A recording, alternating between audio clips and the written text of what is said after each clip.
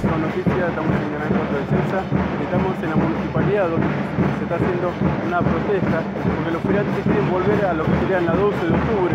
Nosotros estamos realizando un material increíble, porque están todos marchando aquí en el municipio de Ceiza, pidiendo una respuesta al intendente inquilino de este municipio, porque ellos quieren ingresar lo que es la feria de 12 de octubre, no quieren estar donde no venden nada. Nosotros estamos acá en vivo, único medio de comunicación, cubriendo las noticias.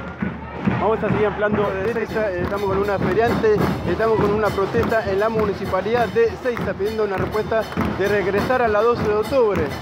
¿Que ¿Por qué nos reprimen? Porque nosotros venimos a buscar trabajo, por el trabajo estamos eh, pidiendo que nos dejen trabajar.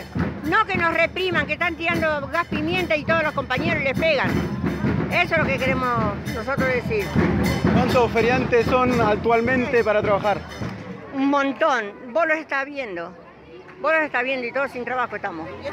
Pues no trabajamos dos días que no trabajamos.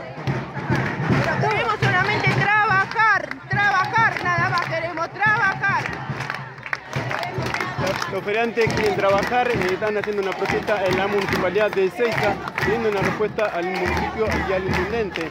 Nosotros estamos acá cubriendo la noticia, el informe 4 en la municipalidad de Ceiza, los feriantes pidiendo una respuesta en el municipio.